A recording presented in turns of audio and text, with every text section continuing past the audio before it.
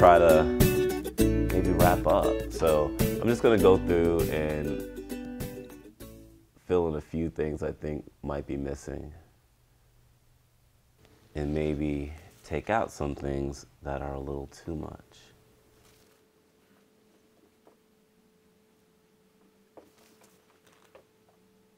I'm using this eyelid to kind of trim down the shape of the eye, which I think I made a little bit too large.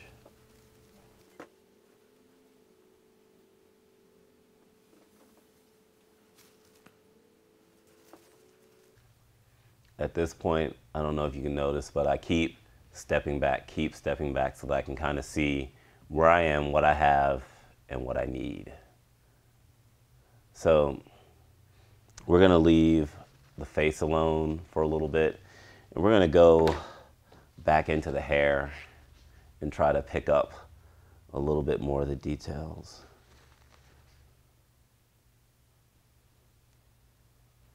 So we're using this a little smaller brush than we did when we started the hair. And I know this is a dark value, and I know this is last, not quite last. But along with respecting that process of going from light to dark, there's a little bit of uh, thinking about the time you have and where you should put your energy. So in the time we have, if someone were to yank this painting away from me, it's a little bit more important that Alicia look like Alicia than it is that her hair be exactly perfect. But now that we have a little time, I'm gonna put a little bit more into the hair.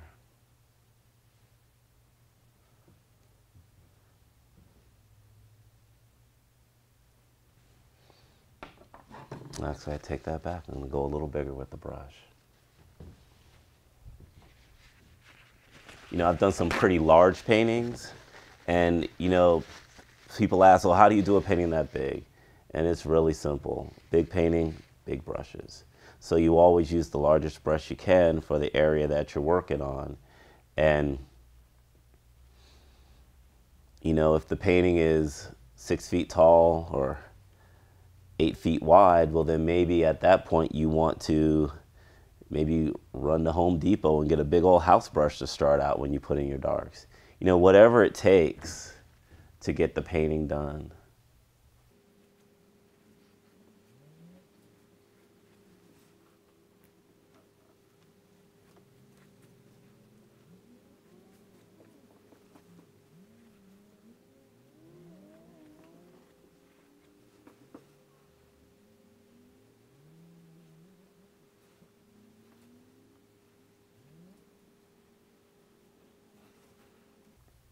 Another thing that I find helpful when you're doing a painting is, you know, kind of getting a thought in your head that you stick with as you're working. So, you know, so that you can get the look to the painting that you're that you're thinking about. So, you know, um, you know, I a lot of times I'll put a sentence in my head. So, you know, so I'm trying not to make Alicia look, you know, older than she is. You know, even though I'm working in a in probably a loose manner, which might lead to that. So, I keep thinking to myself in my head, you know, Alicia is young and pretty, and I keep that phrase going in my head, and it helps me to concentrate and to get the look that I'm going for in the painting.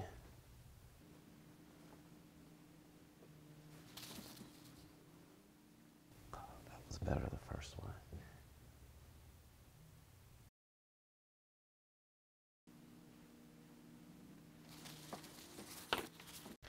Now she has highlights in her hair.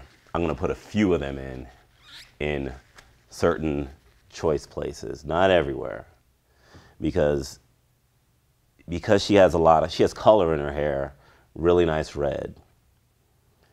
But what can happen is because it's there and it's strong, you can get kind of seduced by it and really do too much and it'll start to take away from from the rest of your painting. So I'm kind of choosing where all that's going to go.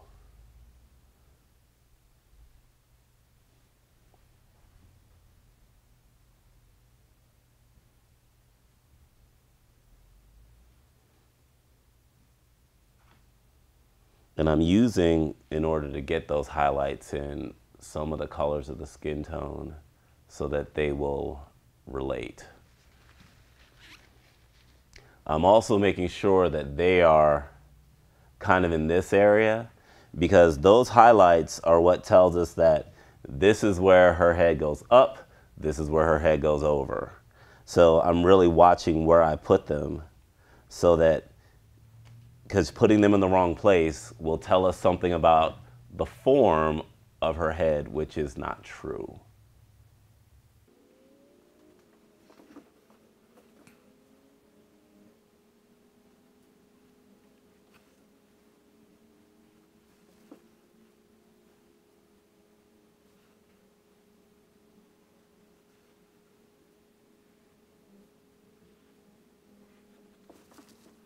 You guys notice I'm not reaching for the highlights over here.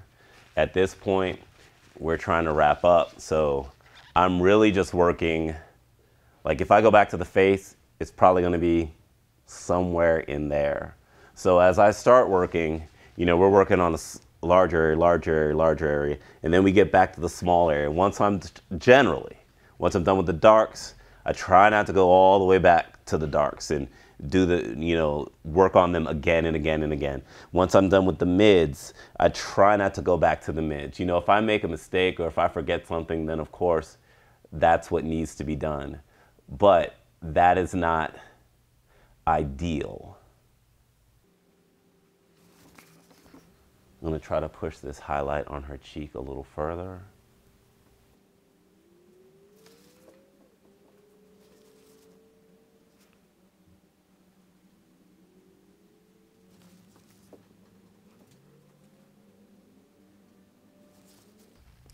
So what we're doing at this stage is we're trying to continue to add to the painting, add to the painting, add to the painting. We're not repainting, we're kind of, we're adding.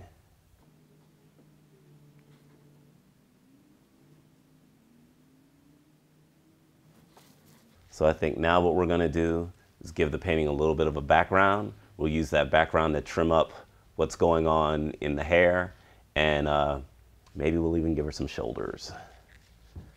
So shoulders first, and we're just gonna kind of draw them in a little bit. Again, I'm mixing in so that I have a nice array of color and no one color is wrong. We're gonna start out even with the shoulders with the darks, with the darker values, put it that way. There are some areas where her shirt is um, is showing through, and so we'll we'll do a little bit of that too.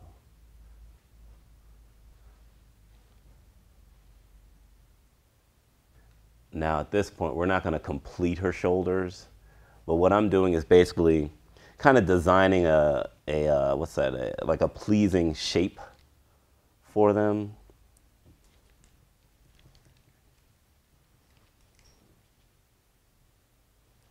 With just maybe, you know, two, three colors to kind of.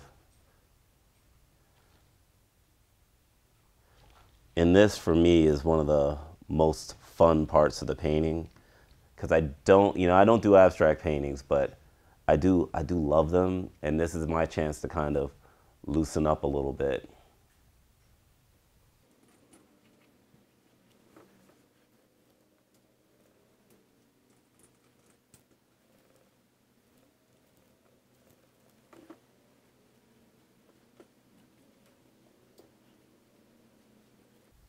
I'm bringing these strokes kind of this way because her shoulders have that shape. Now over here, nice, clean, bright color to kind of finish off the shoulders.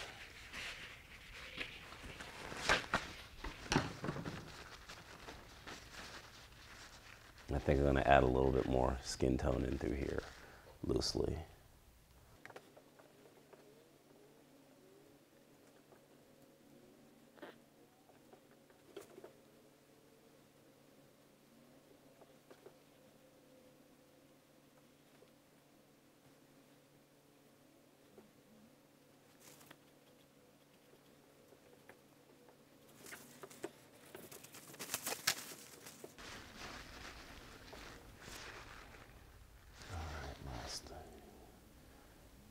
Now I'm trying to get this last, want to put a little bit of the skin tone in here, but I'm trying to make sure that it is right because right now I have a lot of that that pink going on from the from the shirt.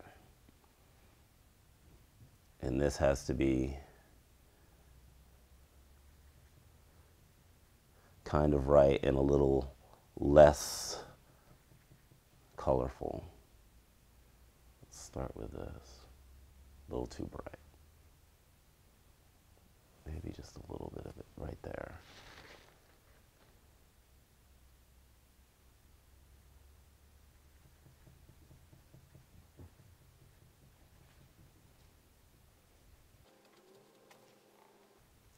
I don't think that that's too bad.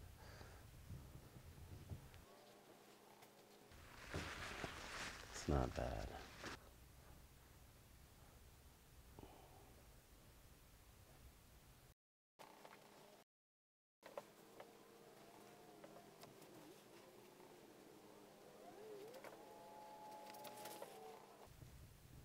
Well, this is one of those cases where I wished I had mixed a little bit more color when I started because now I have to go back and kind of find it again.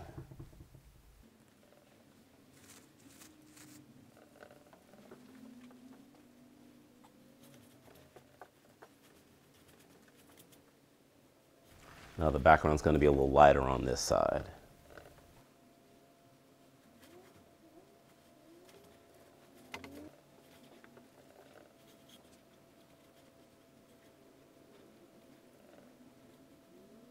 These areas where the background color mixes in with maybe the color of her hair or something like that, they kind of help the painting to relate a little bit so that you don't just have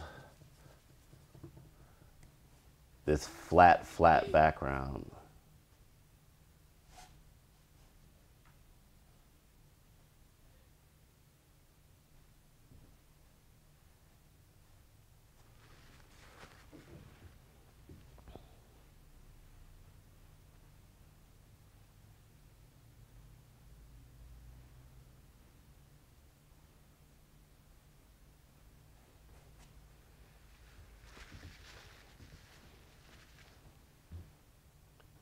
Alicia, we are almost done.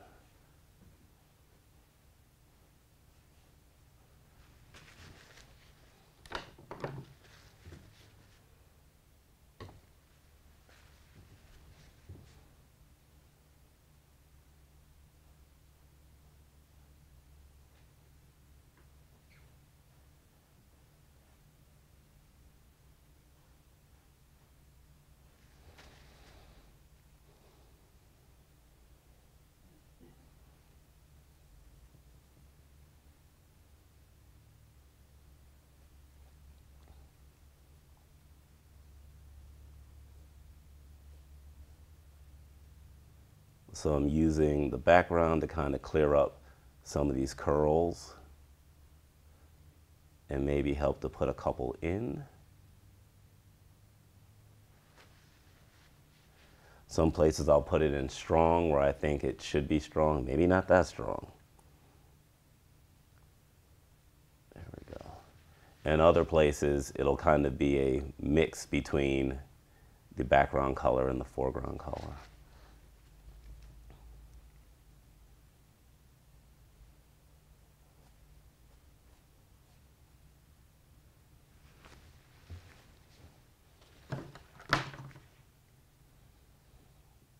Couple more stray hairs and then we're out of here.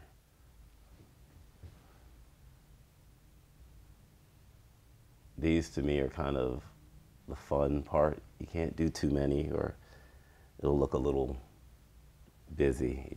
So you know if it's busy to me because I paint pretty busy paintings. Um, then there will probably be a decent issue with busyness. But we'll just get a couple in.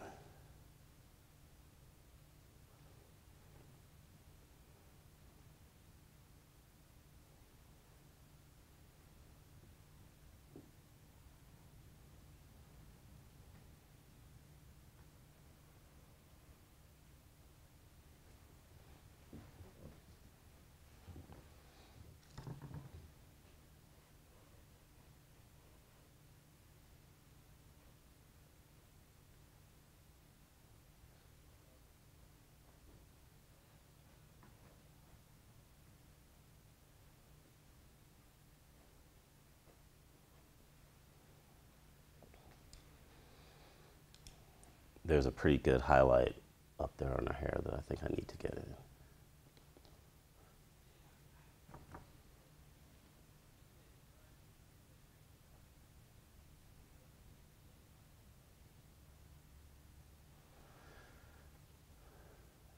And a little bit of a green right in through here.